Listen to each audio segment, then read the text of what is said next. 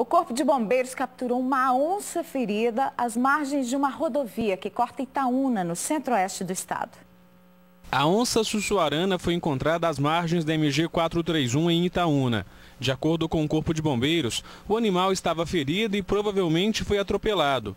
A onça foi levada para uma clínica veterinária, onde foi avaliada e passou por uma cirurgia em uma das patas. Ela vai continuar internada e deve ser solta na natureza na semana que vem.